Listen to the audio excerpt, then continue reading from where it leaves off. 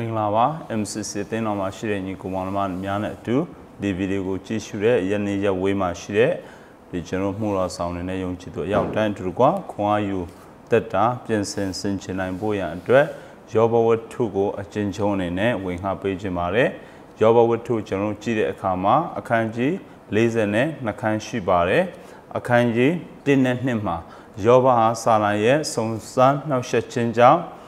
ပစ္စည်းဥစ္စာတွေအကုန်လုံးဆုံးရှုံးတယ်သားသမီးတွေဆုံးရှုံးတယ်နောက်ဆုံးသူကိုယ်တိုင်ပင်လင်အနာရောဂါတွေနဲ့ပြည့်နှက်တဲ့အထိသူ့ရဲ့ဘဝဟာကြာဆင်းသွားခဲ့ရပါတယ်အဲ့ဒီအချိန်မှာယောဘစီကိုတငယ်ချင်း၃ယောက်ရောက်လာတယ်ဆိုတော့ကိုကျွန်တော်တွေ့ရပါတယ်ယောဘဝတ္ထုအခန်းနှစ်အငယ်7ကိုဖတ်တဲ့အခါမှာထိုအခါတာမန်အမျိုးသားအီလိဖတ်ရှုအာအမျိုးသားဘိလဒန်နေမအမျိုးသား ဇောဖာတီဟူသောယောဘ၏အဆွေခင်ပွန်း၃ယောက်တို့သည်သူ၌ရောက်သောဤအမှုကြီးအလုံးစုံတို့ကိုတည်င်းကြားလျင်ယောဘနှင့်အတူညီးတွား၍သူ့ကိုနှစ်သိမ့်စေခြင်းကစီဝီမြင့်ချင်းချက်သည့်အတိုင်းအသီးအသီးမိမိတို့နေရာအရမှရောက်လာကြ၏ယောဘကိုချစ်တဲ့မိတ်ဆွေ၃ဦးကသူတို့မိတ်ဆွေဖြစ်တဲ့ယောဘခံစားတဲ့ဝေဒနာကိုသူတို့ကြားတဲ့အခါမှာသူနဲ့အတူညီးတွားနှစ်သိမ့်ဖို့ရောက်လာကြပါတယ် ပြီးတော့မှသူတို့တွေဖရာသခင်နဲ့ပတ်သက်ပြီးတော့မှသူတို့ယောဘကိုတုံတင်တဲ့အရာတွေကိုကျွန်တော်တို့တွေ့ရပါတယ်ဒီယောဘရဲ့မိတ်ဆွေ၃ယောက်ကိုကျွန်တော်တို့ကြည့်တဲ့အခါမှာယောဘကိုမုန်းလို့လာတာမဟုတ်ပါဘူးသူတို့ဟာယောဘကိုချစ်တဲ့အတွက်ကြောင့်ယောဘစီကိုအဝေးကနေပြီးတော့မှတကူးတကရောက်လာကြတာဖြစ်ပါတယ်။သို့ပေမဲ့ယောဘဝတ္ထုအခန်းကြီး40နဲ့အငယ်9ကိုရောက်တဲ့အခါမှာဖယားသခင်ကသူတို့ကိုဘယ်လိုပြောသလဲဆိုတော့ တီမာအမျိုးသားဣလိဖတ်အားလည်းတင်နှင့်တင်ဤအဆွေခင်ပွန်းနှစ်ယောက်ကိုငါအမျက်ထွက်၏အကြောင်းမူကားငါကျွန်ယောဘသည်ငါအကြောင်းအရာတို့ကိုဟုတ်မှန်စွာပြောတကယ်သူတင်တို့သည်မပြော တို့ဖြစ်၍နွားထီးခုနှစ်ကောင်နှင့်တိုးထီးခုနှစ်ကောင်တို့ကိုယူပြီးလျင်ငါကျွန်ယောဘထံသို့သွား၍မိမိတို့အဖို့မင်းရှုရာရစ်ကိုပူဇော်ကြလော့ငါကျွန်ယောဘသည်တင်းတို့အဖို့ဆုတောင်းရမည်သူ၏မျက်နှာကိုငါထောက်မည်သို့မဟုတ်ငါကျွန်ယောဘသည်ငါအကြောင်းအရာတို့ကိုဟုတ်မှန်စွာပြောတဲ့ကဲ့သို့တင်းတို့သည်မပြောသောအပြစ်နှင့်အလျောက်ငါစီရင်မည်ဟုမိန့်တော်မူ၏ဒီယောဘရဲ့အဆွေခင်ပွန်း၃ယောက်ဖြစ်တဲ့အီလိဖတ်ဘီလဒန်နဲ့ ဇောဖာတို့ဟာယောဘစီကိုလာပြီးတော့မှသူတို့ဟာယောဘကိုချစ်သောကြောင့်ဖယားသခင်အကြောင်းနဲ့ပတ်သက်ပြီးတော့မှသူတို့လာပြီးပြောပြတယ်လာပြီးတုံတင်တယ်ဒါပေမဲ့အဆုံးမှာဖယားသခင်က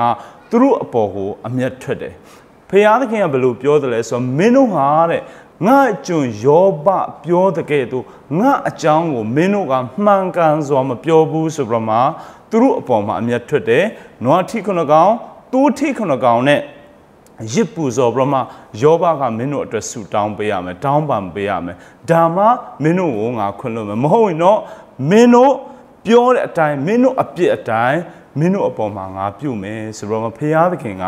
သူတို့၃ယောက်ကိုအမျက်ထွက်တယ်ဆိုတာကိုကျွန်တော်တို့တွေ့ရပါတယ်ဒါကြောင့်ကျွန်တော်အသက်တာမှာဆင်ခြင်ဖို့ရန်အတွက်ပါလဲဆိုတော့ကျွန်တော်တို့ဖရာသခင်အကြောင်းပြောတိုင်းဖ ရာသခင်အကြောင်းကိုကျွန်တော်ကောင်းကောင်းပြောတိုင်းကျွန်တော်တို့ပြောတဲ့အရာကဖရာသခင်ပြောစီလို့တဲ့အရာမဟုတ်ဘူးဆိုရင်မှန်ကန်တဲ့ဖရာသခင်ရဲ့တမန်တရားမဟုတ်ဘူးဆိုရင်ဖရာသခင်ကပင်လင်ကျွန်တော်တို့အပေါ်မှာအမျက်ထွက်တယ်ဆိုတာကိုဒီယောဘဝတ္ထုအဖြစ်ကျွန်တော်တို့တွေ့ရတာဖြစ်ပါတယ်။ဒါကြောင့်ဒီယောဘရဲ့တငယ်ချင်း၃ယောက်ကသူတို့ရဲ့မိတ်ဆွေဖြစ်တဲ့ယောဘကို ချစ်ပြီးဖရာသခင်အကြောင်းပြောပေမဲ့မမှန်ဘူးဆိုတာတွေ့ရပါတယ်။ဒါကျွန်တော်ရဲ့အသက်တာမှာကျွန်တော်တို့ကိုချစ်လို့ပြောတာပဲဖြစ်ဖြစ်ကျွန်တော်တို့ကချစ်လို့ပြောတာပဲဖြစ်ဖြစ်မှန်ကန်တဲ့တမန်တရားဖြစ်ဖို့ရန်အတွက်လိုအပ်ပါတယ်။ဒါကြောင့်ကျွန်တော်တို့ချစ်ပြီးလှုပ်တာကောင်းပေမဲ့တမာတရားမပိုင်အခြေအနေတသက်ဖြစ်ပါတယ်။ဒါကြောင့်အဖေရောစာဘဲမှာ မေတ္တာစိတ်နဲ့တမာတရားကိုဟောပြောဖို့ရန်အတွက်ပြောထားပါတယ်။ကျွန်တော်တို့ချစ်တဲ့စိတ်မေတ္တာစိတ်တစ်ခုတည်းနဲ့မရပါဘူး။စစ်မှန်တဲ့တမာတရားဖြစ်ဖို့ရန်အတွက်လိုအပ်ပါတယ်။စစ်မှန်တဲ့တမာတရားမဟုတ်ရင်ကျွန်တော်တို့အပြောဘလောက်ပဲကောင်းကောင်းကျွန်တော်တို့အဟောအပြောဘလောက်ပဲတော်တော်ဖယားသခင်ရဲ့အမျက်တော်ကိုပင်ကျွန်တော်ရဲ့အသက်တာမှာခံရနိုင်တယ်ဆိုတော့ကိုကျွန်တော်တို့ဟောပြောတဲ့သူတွေနဲ့နဲ့တတိပြုဖို့ရန်အတွက်လည်း တိုက်တွန်းချင်ပါတယ်အတူကွာအစင်ချင်းစေလိုပါတယ်ပြီးတဲ့အခါမှာကျွန်တော်ထပ်ပြီးကြည့်ဖို့ရန်အတွက်နောက်ဆုံးမှာအီလီဟုဆိုတဲ့၄ယောက်မြောက်ယောဘရဲ့မိတ်ဆွေကယောဘကိုဆုံးမတယ်အဲ့ဒီအီလီဟုကဘယ်ကနေရောက်လာသလဲဆိုတာကိုမဖော်ပြထားဘူးအများသောအားဖြင့်ဖြစ်နိုင်ခြေရှိတာက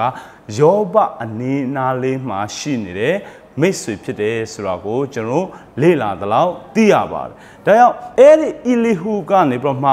အခန်းကြီး32ကနေတောက်လျှောက်30ခွန်အထိယောဘကိုဆုံးမပါတယ်။ယောဘကိုဖျားသခင်အကြောင်းတမန်တရားပြောတဲ့အခါမှာသူပြောတဲ့စကားတွေကိုယောဘကခံယူပြီးနားထောင်တယ်ပြီးတာနဲ့အခန်းကြီး38မှာဖယားသခင်ကထပ်ပြီးတော့မှယောဘကို မိုးသက်မုံတိုင်းတဲကနေပြီးတော့မှစကားပြောတယ်အဲ့ဒီခါမှာအခန်းကြီး40အငယ်1ကနေ9နဲ့အခန်းကြီး40နဲ့အငယ်1ကနေ6ကိုကြည့်တဲ့အခါမှာယောဘက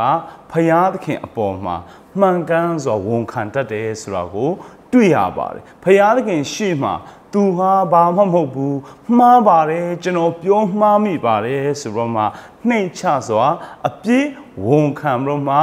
စင်ချင်းပြင်ဆင်တဲ့အသက်တာဖြစ်လာတယ်ဆိုတော့ကိုကျွန်တော်တို့တွေ့ရပါတယ်ကျွန်တော်ယုံကြည်သူတွေအနေနဲ့လည်းပဲတစ်ခါတလေကြာရင်အဝေးကနေပြောတဲ့အရာ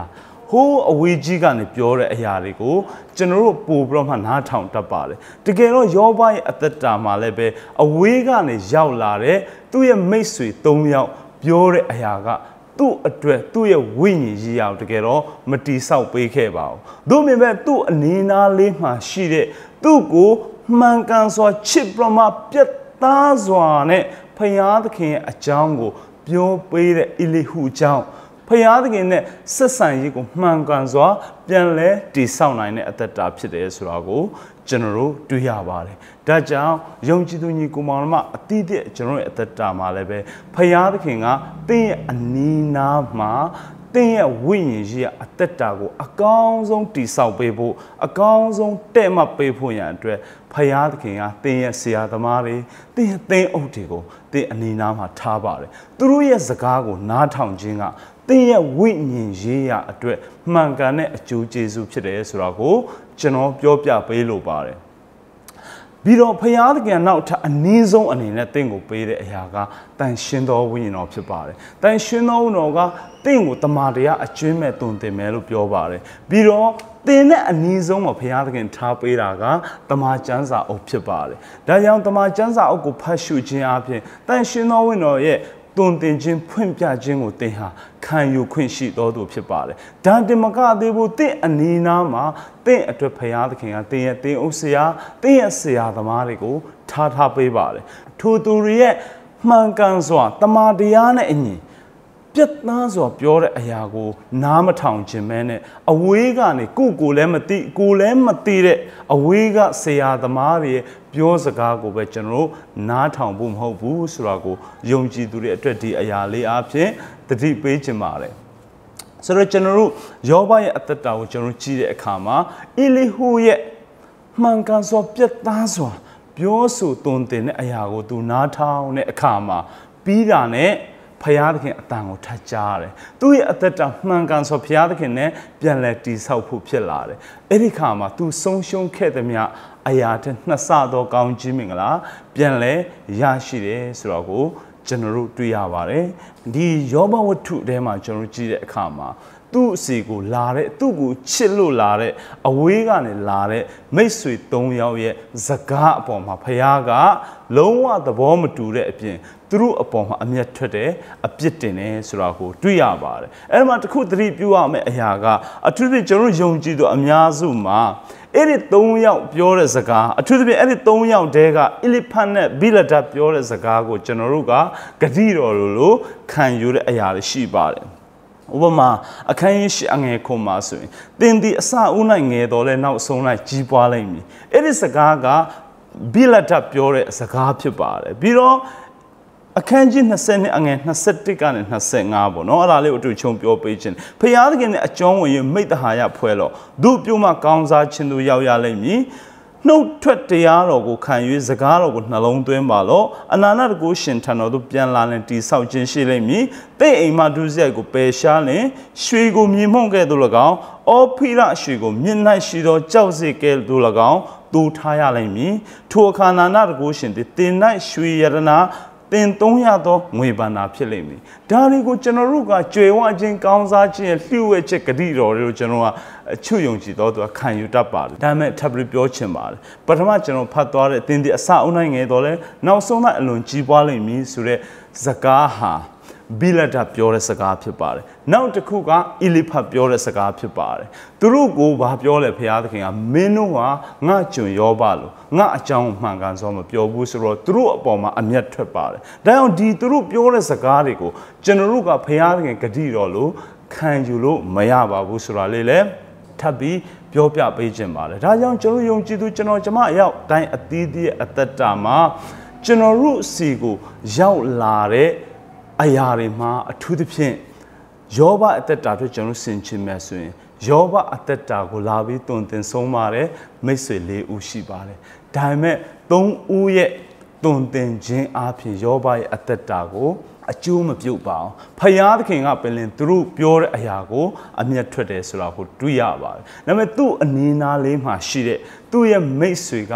တုံတင်တဲ့အရာအပြင်ယောဘရဲ့အသက်တာမှာဖယားရဲ့စကားတော်ကိုထပ်ပြီးကြားပြီးမှသူ့ရဲ့အသက်တာမှာပြန်လဲပြီးမှပြင်ဆင်နိုင်ဖို့ရန်အတွက်ဖယားသခင်နဲ့ဆက်ဆံရတာကြီးတိုးတက်ဖို့ရန်အတွက်ဖြစ်လာတယ်ဆိုတာကိုကျွန်တော်တို့တွေ့ရပါတယ်။ဒါကြောင့်ဣသရေလလူမျိုးတွေကိုဖယားသခင်ကပြောတယ်တရားတော်ဟာမင်းရဲ့အဝေးမှာရှိတာမဟုတ်ဘူးတဲ့။မင်းရဲ့အနီးဆုံးမှာမင်းရဲ့နှလုံး၌၎င်းနှုတ်၌၎င်းရှိတယ်လို့ပြောပါတယ်။ ဒါကြောင့်ယုံကြည်သူညီကိုမောင်တို့အတီးအသက်တာမှာကျွန်တော်အရေးကြီးဆုံးကကျွန်တော်တို့ကိုယ်တိုင်တမန်ကျမ်းစာဖတ်ရှုပြီးတော့မှဝိညာဉ်တော်ရဲ့ဆုံးမသွန်သင်ပဲ့ပြင်ခြင်းကိုခံယူဖို့ရန်အတွက်ဖြစ်ပါတယ်ပြီးတဲ့အခါမှာကျွန်တော်အနည်းဆုံးမှာထားထားပေးတဲ့ကျွန်တော်တို့ရဲ့ဆရာသမားတွေကျွန်တော်ကိုချစ်တဲ့ကျွန်တော်ရဲ့သင်အုပ်ဆရာတွေရဲ့စကားကိုကျွန်တော်နားထောင်ဖို့ရန်အတွက်တိုက်တွန်းခြင်းပါတယ် ပြီးတော့မှအခုဆိုရင် online ခေတ်မှာဆိုရင်နားထောင်သူထက်ဟောတဲ့သူတောင်ပိုများတဲ့ခေတ်ဖြစ်ပါတယ်ဒီကာလမှာကျွန်တော်ဟောတဲ့သူတွေအားပေးခြင်းပါတယ်ဟောပါဖရာသခင်တမန်တရားကိုကျွန်တော်တာရည်သက်သေခံရအောင် ဖယားသခင်ဖွင့်ပေးတဲ့အရာတွေအားလုံးကိုတမာတရားဟောဖို့ရန်အတွက်ကျွန်တော်နေမျိုးစုံနဲ့ကျွန်တော်အသုံးပြုဖို့ရန်အတွက်အားပေးခြင်းပါလေဒါပေမဲ့တတိပြုဖို့ရန်အတွက်ဟောချင်အားရှောက်ဟောဖို့မဟုတ်ဘဲနဲ့ဖယားသခင်ဟောစီလို့တဲ့အရာကိုကျွန်တော်တို့ဟောရအောင်စစ်မှန်တဲ့ဖယားသခင်ရဲ့တမာတရားကိုမေတ္တာစိတ်နဲ့ဖယားသခင်တမာတရားကိုဟောရအောင်ကျွန်တော်ဟောခြင်းဟာမှားရင်ဖယားသခင်အမျက်ကိုတော့ထွက်စေတယ်ဆိုတာလေးကို တတိပြုရအောင်ဆိုတာလေးကိုယောဘဝတ္ထုအပြင်အနှဲငယ်စင်ချင်းခွန်အားယူဖို့ရန်အတွက်ဝင်ခလိုပါတယ်ဒီအကြောင်းအရာကိုအစဆုံးနားထောင်ပေးတဲ့သူအရောက်တိုင်းပေါ်မှာဖျားရှင်ကောင်းချီးပေးပါစေ။